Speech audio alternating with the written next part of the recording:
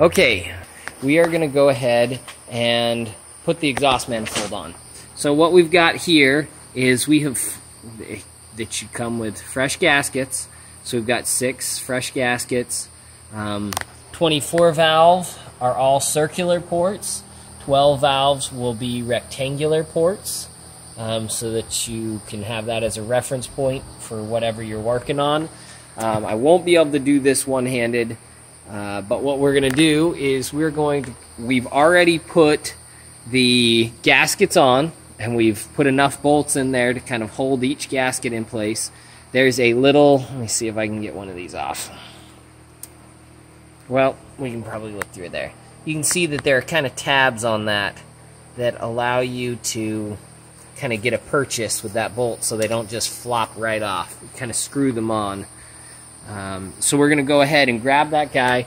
We're going to put it up on the motor and we're going to get kind of two bolts here and two bolts up front just to get her started. And But we're not going to tighten them. And then we'll go through and we'll just put each bolt in by hand.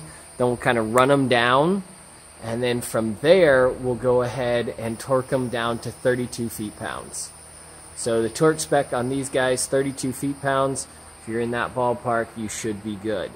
All right, so there's your exhaust manifold install, and we'll come back after we've got it up and sitting on the motor.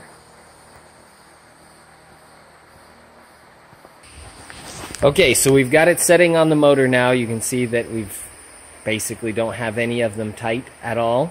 Um, we're going to go ahead and get each one in a couple of threads. And as you're lifting it up there, if you're doing it in the truck, um, remember the exhaust manifold almost sits on the oil cooler housing here.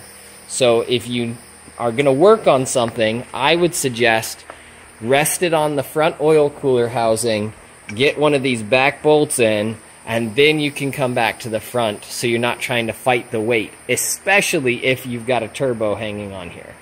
All right? So we will move on now to the next piece. Okay, so as you're getting these little guys lined up, and especially if you just hung it by the hung the gasket by the top one, make sure that you check to see that that thing is, the gasket is aligned with the lower bolt hole. Um, I had two that were off enough that I could have just gone ahead and slid the bolt in there had I not paid attention and the gasket would have been completely off. And you can only tell by looking underneath at it.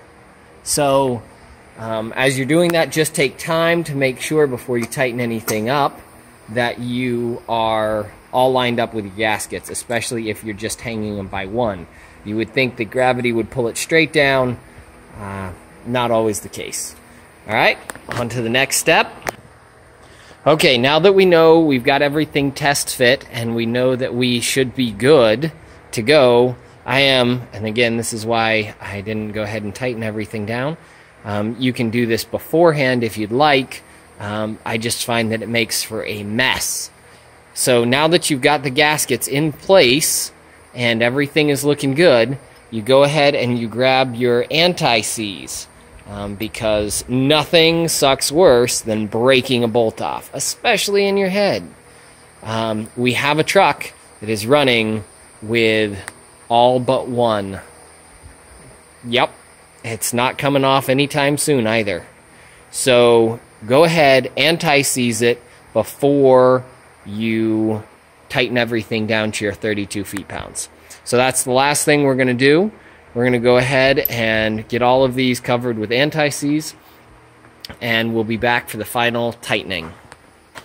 Okay, so we've got anti-seize on everything, and we're just going to show you real quick, just for the sake of this, the, sorry, we're going to show you the pattern. So it goes one, two, three, four, five, six, seven, eight, 9, 10, 11, 12. So again, if you're looking at this, it's 1, 2, 3, 4, 5, 6, 7, 8, 9, 10, 11, 12. So it basically starts on cylinder top of cylinder number 3 and it works in a ever expanding spiral out. All right.